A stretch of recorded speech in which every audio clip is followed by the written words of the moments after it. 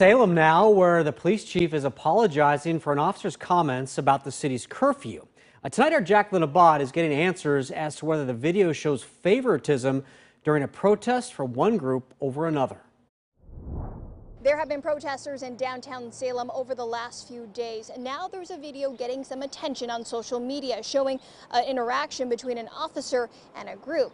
And the person who took the video says it's being misinterpreted.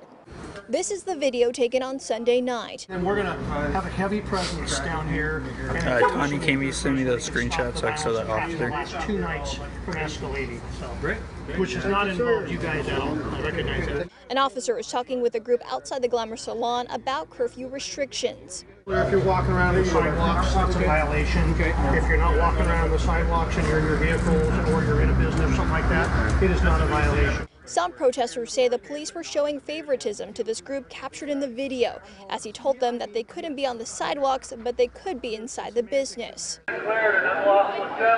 This comes as Sunday night's protest was declared unlawful. Tear gas was used, and it's the same night this video was taken. In response, the Salem police chief released this statement, saying in part, The message we have received is a concern that we are treating people differently. For that, I tell you, I am sorry.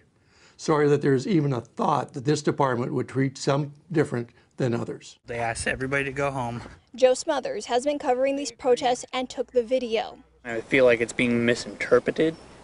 That a lot of people are taking out of context the whole him saying favoritism because he did also in that video say that he doesn't want any conflicts to arise, that he didn't want anyone to get hurt. Chief Moore says they talked with the officer. They say he was not fully briefed on curfew enforcement, and moving forward, officers will be better briefed.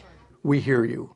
As a learning organization that values community, we are always listening and responding to needs and concerns. I feel people need to take a step back and actually watch, listen to the other perspectives instead of just immediately jumping on people.